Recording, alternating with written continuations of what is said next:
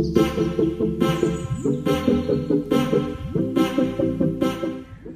Morning guys कैसे हैं आप सब लोग? उम्मीद करती हूँ आप सब अपने अपने घर में अच्छे से होंगे। तो गाइस आज का ब्लॉग स्टार्ट होने वाला है। टाइम बच चुके हैं बारह और आज हमारी है छोटी सी गेट टुगेदर जो कि रजौरी गार्डन में है टर्बन टाइल्स में। तो आज फिर से हम वहाँ जा रहे हैं और गाइस मिलते हैं थोड़ी देर में वहीं जाके आपसे। जी गाइस मैं पहुँच गई हूँ रेस्टोरेंट में और अभी का सीन कुछ इस तरह से कि तम्बोला स्टार्ट होने लगी है। मेरे पास खड़ी है तम्बोला तम्बोला स्टार्ट होने वाली है और ये सब लोग भी आ गए हैं। अपना अपना बिज़ी है भैया हेलो कर दो सब हेलो कर दो। हाँ जी हेलो कर दो सब।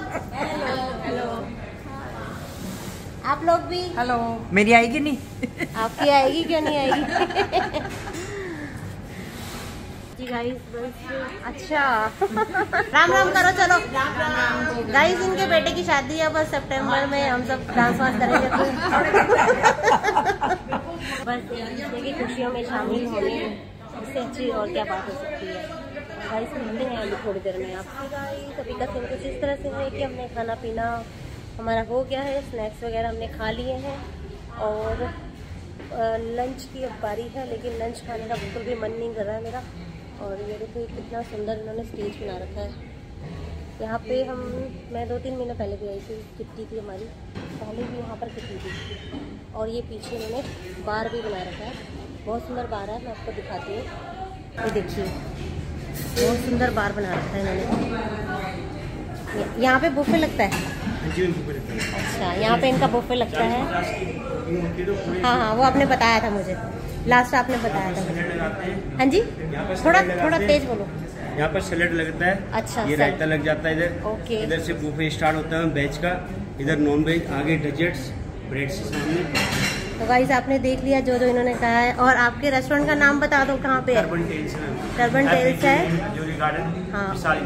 और जिसने भी विज़िट करना हो आ सकते हैं बहुत अच्छा रेस्टोरेंट है। सेकंड टाइम हम यहाँ पे आए हैं और हमारी किट्टी है यहाँ पे और देखिए इनके बार भी है यहाँ पे। और बहुत सुंदर इन्होंने बना रखा है। और ये भैया अपना नाम भी बता दीजिए भैया। मेरा नाम कैलाश पांडे हाँ। इनकी सर्विस ये अभी थे नहीं हम। और ये जैसे ही आई तो सर्विस इतनी क्विक होगी इससे पहले सर्विस नहीं हो पा रही थी, वो बेचारा अकेला लगा हुआ था जो उनके पीछे खड़ा हुआ थैंक यू भैया, आपके आते ही अच्छा लगा। और ये स्टेज तो मैंने आपको दिखाई दिया है।